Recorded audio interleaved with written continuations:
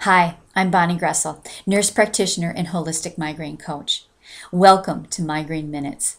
Today we're going to talk about artificial sweeteners, aspartame in particular. Aspartame or NutraSweet is in a lot of foods, and it's really very dangerous for our brain.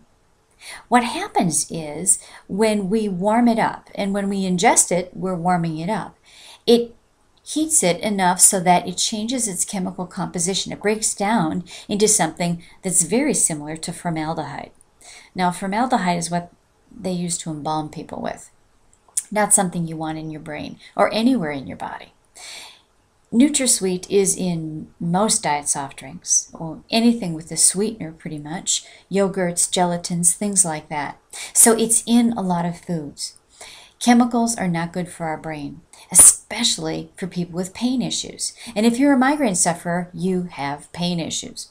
So anything that's not good for your brain is not good for your pain. I would stay away from the artificial sweeteners as much as you can. And NutraSweet is in just about everything. So read some labels. Know what you're taking. If you want more information than I could provide for you in this short video today, you can click the link below.